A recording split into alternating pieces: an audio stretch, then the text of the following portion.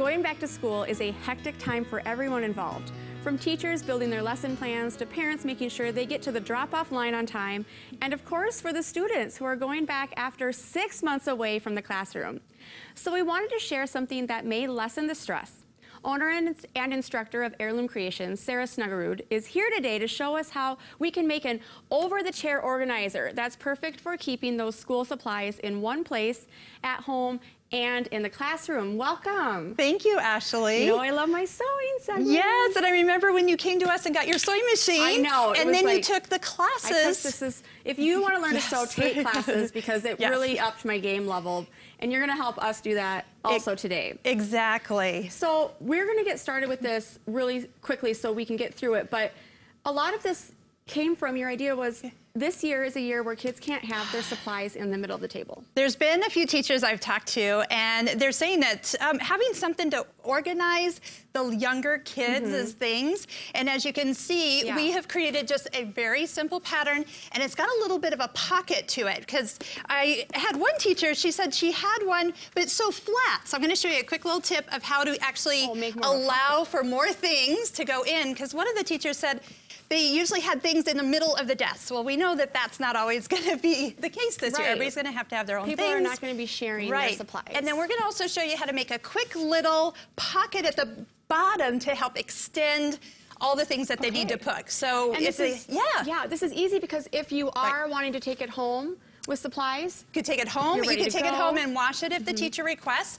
And if you're thinking you want to make some of these, definitely check with the schools before you do it. Some teachers are going to be okay with having some fabric and Right, right. And some teachers have them, but they're worn out, so they might need some new ones. I love And I'm going to show you, you can also add a little embellishment to them as well. Okay. So the first thing you're going to need to do is figure out how big the chair is. So this is one oh, that yeah. kind of in that middle section of a first grader um, stage. So um, kindergarten, first grade, second grade. This is the chair from their classrooms. And you so, even got one. I did. I um, hijacked from one of my teacher friends. I'm going to just move this right now so I can see you. Sounds good. We are wanting to work with some fabric that's a little bit thicker. So if you have cotton fabric at home, that's going to probably be a little, um, it's not going to last very long. Those corners of the chairs are really going to start to okay. get beat up.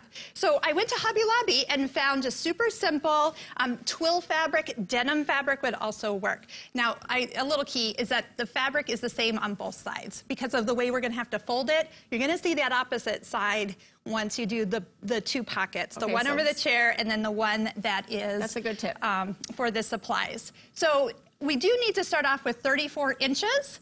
And on one end, you're going to need to have 16 inches, and to go over the chair back, 14 inches. Okay. But if that chair's a little bit bigger, you're going to need to expand that a little, little bit. bit. So then we're going to cut off a little bit at the end. So I've just measured in an inch on each side and measured down 14 inches for that first. So cut so off this, yeah, cut like off this part here. That's what's going to make this actually work. And you're going to have the dimensions and some instructions yes, for us too. we will so put all that. If this is moving quickly, you can go back and you look. bet. So here's where I've actually cut it off. We do need to kind of finish the edges here. So this is the part that goes over the top of the chair. So just go ahead and fold that down. Now you're going to notice that these edges don't match up. So you're going to kind of pull them over and then pin those in place.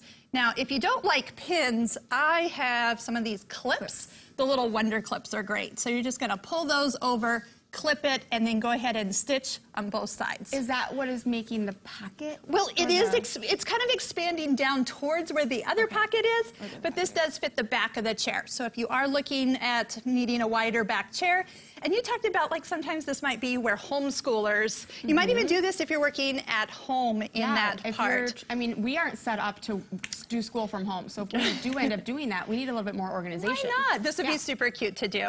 So here's where I've already sewn the two sides. And yes, I leave myself little notes to turn right side out here.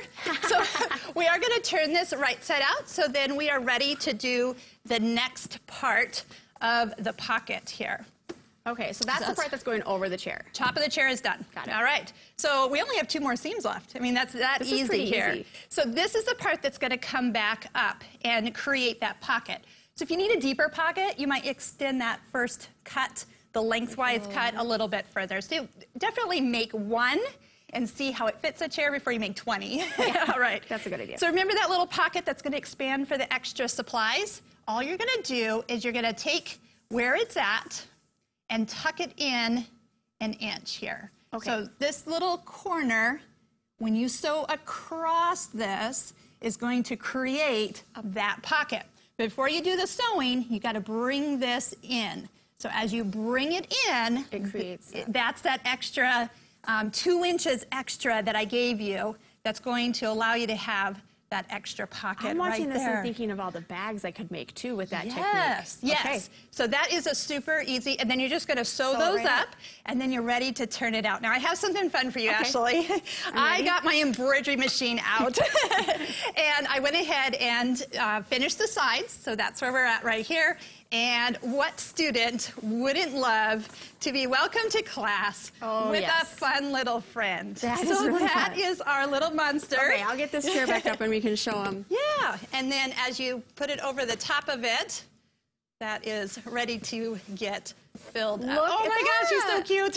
That is so Yes. cute. So whether you have, I mean, if you have an embroidery machine, you definitely could have some fun with that. You could put like superstar or teacher's helper, Yeah. and maybe it rotates to the student that's the teacher's helper for the That's day. There's really so many fun things that you could add to that particular um, project. So while we're talking about this, I know you adapted this pattern based on a few suggestions that teachers Yes. had given you. So what kinds of things did they really like and what kinds of things did they not like? So they really needed the extra pocket. So that's very pocket. important that you kind of give it that. I know it feels weird when you're sewing at an angle, Yeah. but that's what gives it that opening at So the top. They had tight. some and they were just flat, so you could get like a folder in it, but they're going to have their library books. Maybe a pencil box to also put in there. So yes, So they make need sure some extra room. Okay, I like that. Yes. And these do wear out. I think this is a be great. If mm-hmm. you're a sewer too, check with the teacher first, especially this Yep. year during the pandemic. But this could be a great teacher gift to do the whole classroom. That would be fun. Well, yes. thank you for coming in and showing. I'm going to make some just for my house for my kids. Why not? They are, they are that easy. Thank you so much. Thank you.